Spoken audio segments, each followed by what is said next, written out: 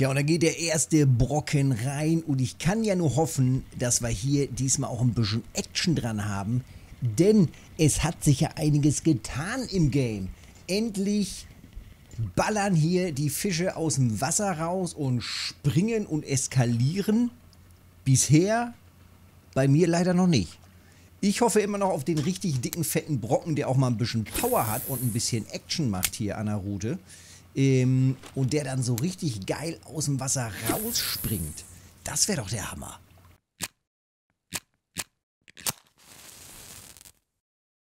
Und guck mal da, da geht direkt die nächste Route gerade rein. Ich muss ja gleich mal ein bisschen wenden hier. Ich bin gerade mal eine Runde schleppen hier am Woltjof. Einfach mal gucken, ob ich hier nicht einen dicken, fetten Lachs oder uh, dicken, fetten Hecht dran bekomme. Bisher gehen einige Hechte tatsächlich hier auf die Snatcher. Und ich teste allerdings auch hier natürlich die ganz klassischen Dodger Cranks. Auch die laufen ja immer wieder gut. So, ich weiß gar nicht genau, wie ich hier bretter. Ich glaube, ich fahre einfach mal hier durch, oder? Ja, ich fahre einfach mal hier durch. Und dann fahren wir rüber hier in den... Also ich bin jetzt gerade hier runtergebreddert, schön in den Morgenstunden. Und dann fahren wir hier mal runter und dann wieder zurück. Gucken wir mal. Eine so eine Tour müsste doch ganz gut gehen. Immer gucken, dass man hier das breiteste, die breiteste Lücke hier trifft, dass man auch durchpasst. Und dann lübt das schon. Ja, es hat sich ein bisschen was getan im Game. Und zwar wurden nicht nur die äh, Ingame-Chats wieder reaktiviert, beziehungsweise die äh, privaten Ingame-Chats sozusagen. Das heißt, ich habe ja einen, ähm, einen Channel erstellt. Bäm, Alter, da ist er der erste Ladoga-Lachs. Bisschen klein, aber noch okay. Genau, ich habe ja einen Hoppala. Oh, linke Seite, rechte Seite, rechte Seite, linke Seite. Da kommen wir nicht durch. Direkt dagegen gebrettert. Ähm, da müssen wir. Da passen wir da. Da passen wir doch durch, oder? Ja.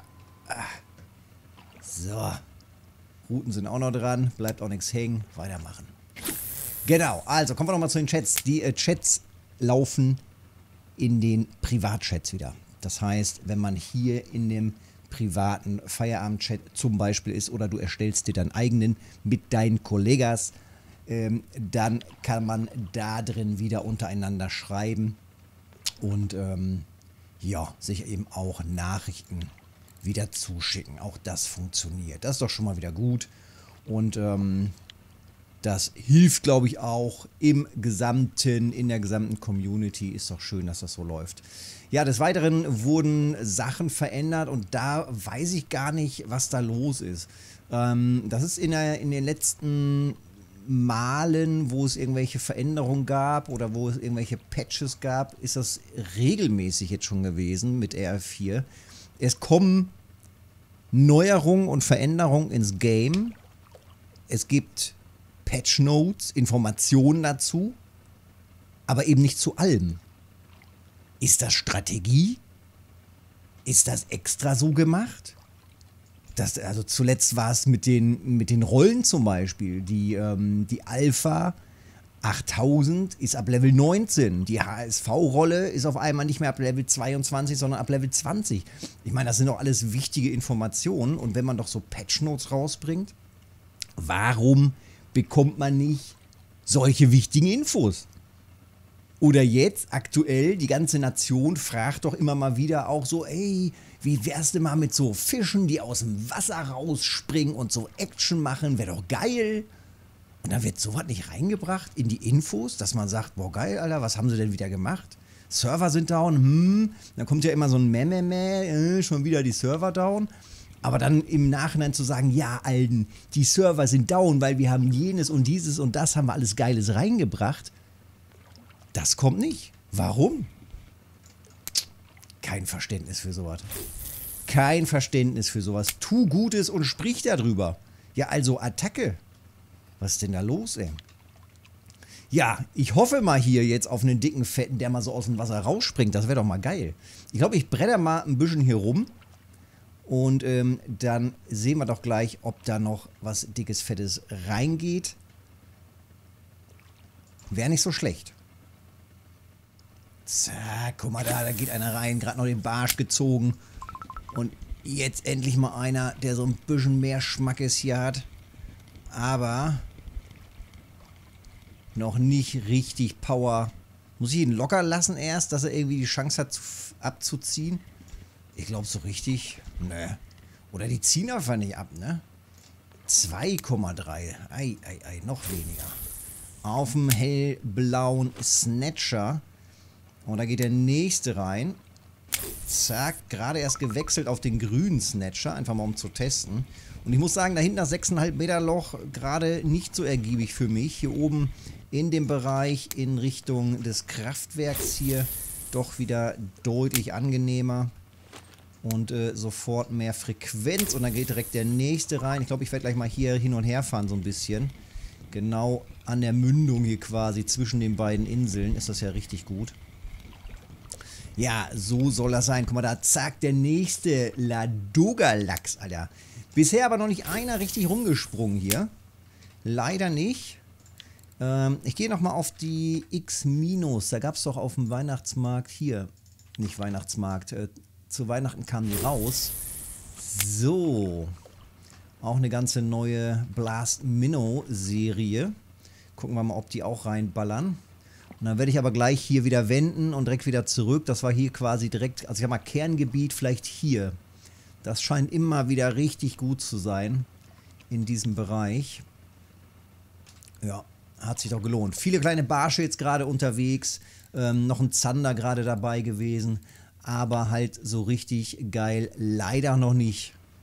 Also weiterziehen und auf den richtig dicken hoffen.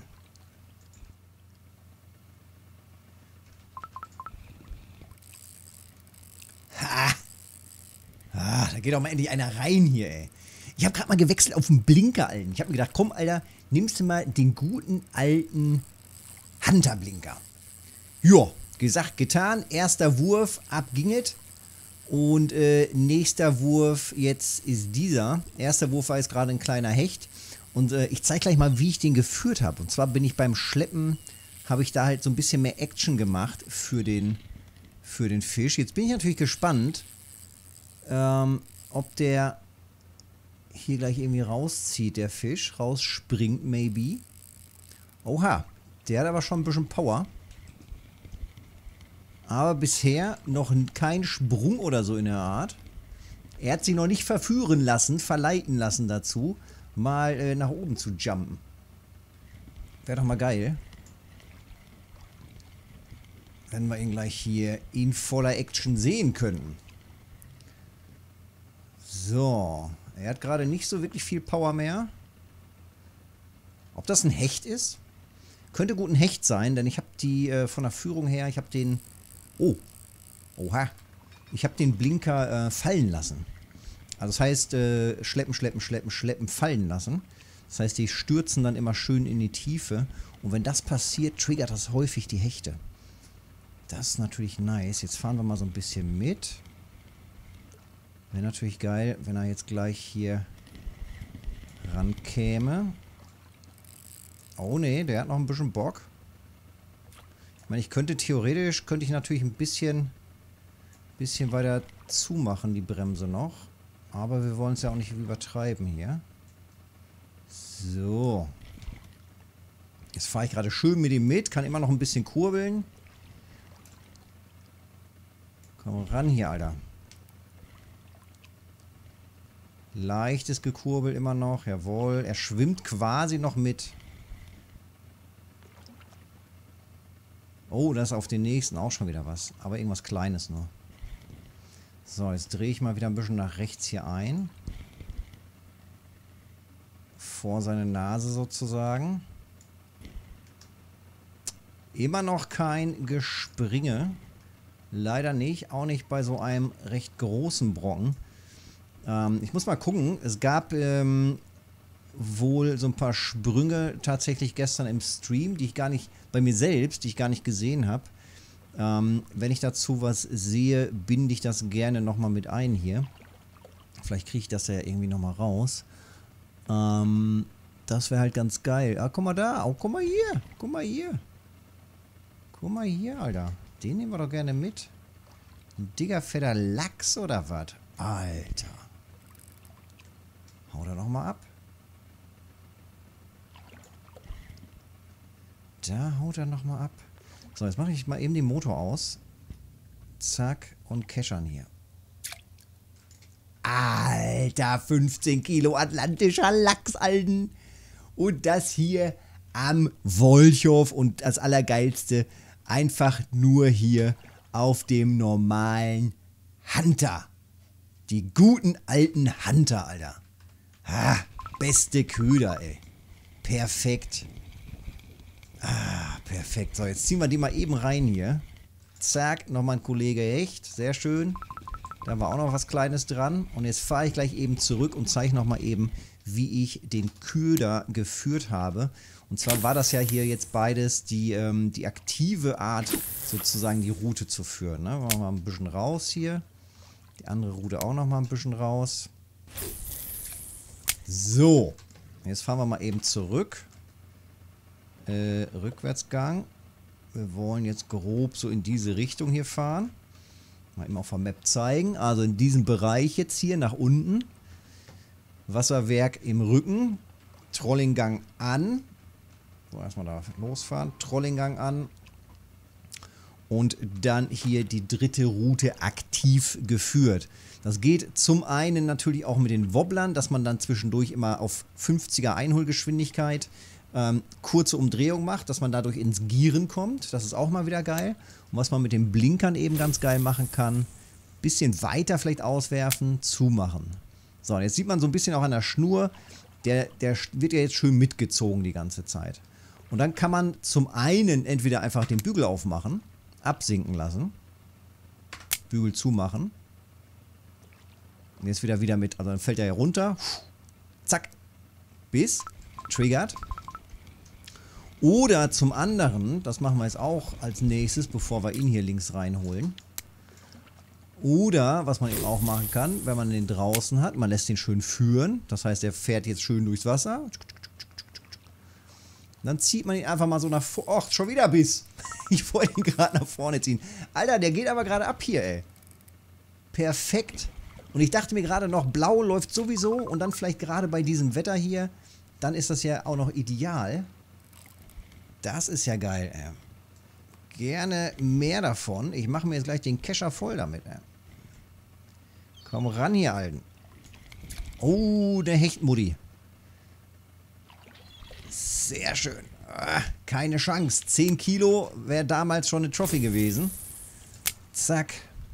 Jetzt leider nur erst bei 12. Aber das ist halt so der Move, ne? Also ziehen lassen, ziehen lassen, ziehen lassen. Ich zähle so irgendwie bis 5, 6, 7 und dann einmal so nach vorne ziehen und wieder runterlassen. Und in der Zeit sinkt er jetzt ja runter und dann kommt gleich dieser Ruck und dann geht er wieder hoch. Geht hoch und zieht dann weiter. Und das Ganze jetzt wieder einfach wieder warten lassen. Jetzt ist er wieder oben. Dann wieder, zack, ist schon der Biss. Und dann wäre halt das nächste Mal nochmal das Ganze. Ne? Jetzt machen wir erstmal hier links und rechts die Dinger raus. Schmeckt. Ich werde gleich mal links und rechts hier ähm, die Wobbler abmachen und da auch die Blinker dran machen. Ist doch vielleicht gar nicht so schlecht. Tja, im Großen und Ganzen schwierig hier. Guckt das mal an. Überall die ollen Barsche, ey. Die will man ja gar nicht. Überall die Barsche. Und die kleinen Hechte. Aber im Großen und Ganzen schon mal nicht schlecht. Hier machen wir mal 25 den blauen Weiko drauf. Jetzt wird es ein bisschen wild. So, dann müssen wir mal eben hier die Posi ändern. Einmal umsetzen und wieder in den Trollinggang rein. Das war hier schön lang brettern und zwar hier schön am besten so zwischen diesen Kanten in diesem Bereich an den Gewässerkanten vorbei brettern. Das ist immer richtig gut. So, und hier machen wir den nächsten Hunter drauf, auch den gleichen. Hunter-Serie. Alter, soll ich hier mal den ganz fetten machen? Komm, ich mach mal hier den ganz fetten drauf, ey. 4-0er Haken, das ist das Riesenmodell davon. Guck mal, gewichtsmäßig am Limit der Route. Und das bei so einer schweren Route, ey. Das ist ein richtiges Brett. Einfach mal testen. Einfach mal übertreiben. So, und hier gehen wir wieder einfach auf den normalen. Zack, auswerfen, ziehen lassen. Was man jetzt natürlich machen könnte, wenn man links und rechts die Routen hat. Man kann auch zwischendurch einfach mal kurz Ähm, also das, das mache ich am äh, Koori auch immer mal ganz gerne. Und zwar, wenn man dann schleppt mit Blinkern, also links und rechts Blinker, einfach mal kurz anhalten, Rückwärtsgang jetzt fahren. Zack, ihr seht, die Schnuren fallen runter. Dann wieder vorwärts und wieder rein in den, in den Trollinggang. Auch da einfach mal genau der gleiche Effekt. Das heißt, die waggeln schön durchs Wasser, blöpp, blöpp, blöpp, blöpp, blöpp, blöpp. Und in dem Moment, wo ihr locker lasst die Schnur, stürzen die runter. Und dieses Runterstürzen, das triggert häufig die Fische, gerade auch am Koori. Und äh, gerne auch, gerne natürlich auch Hechte. Also da auf jeden Fall mit äh, vernünftigen, dicken, fetten Vorfächern hier rangehen. 31, 35 Kilo Vorfach ist schon Minimum. Ähm, mittlerweile werden ja hier so dicke, fette Hechte auch gefangen, dass man da wirklich aufpassen muss, ob man da nicht vielleicht sogar manchmal lieber noch Stahl nimmt oder sowas bei so solchen Aktionen hier. Aber so ein bisschen Risiko fährt halt immer mit. Macht ja auch extra Bock, wenn man da so ein bisschen noch das Risiko hat, dass einem da ein dicker, fetter Brocken auch noch irgendwie was abbeißen könnte. Wäre halt immer schade, aber kann man halt machen. Ne? So, das war es eigentlich schon im Großen und Ganzen. Wie gesagt, wenn ich gleich noch was äh, dazu finde zum äh, springenden Fisch, dann blende ich den nochmal mit ein. Ansonsten sehen wir uns in einem der nächsten Videos oder im Livestream auf Twitch, montags, mittwochs und freitags, immer ab 19 Uhr. Petri. Wir schauen natürlich nochmal schnell in den Kescher rein, ob sich das Ganze denn hier gelohnt hat, wenn wir mal eben nach Preisen sortieren. Jede Menge Barsche, ja, kleinere Hechte, auch nicht schlecht. Was natürlich übelst reinhaut, ist so ein dicker, fetter atlantischer Lachs, aber eben auch die Ladoga-Lachse gar nicht so schlecht und die ballern natürlich deutlich schneller und leichter mal eben rein. Das heißt, in Gänze sind wir jetzt hier mit dem dicken, fetten Brocken bei immerhin 270 Silber. Kratsching, kriegt man das so schnell reingekurbelt? Hm, schwierig. Also mit, ich sag mal, mindestens sowas wie einer Super Duty und einer, einer HSV als Rolle. Ähm, da kann man sich hier mal ranwagen. Weiter drunter würde ich hier auch nicht rangehen, weil das halt auch übelst Verschleiß macht. Gerade solche dicken Brocken sind halt richtig, richtig kampfstark, aber machen eben auch Bock. Aber nur, bis dahin.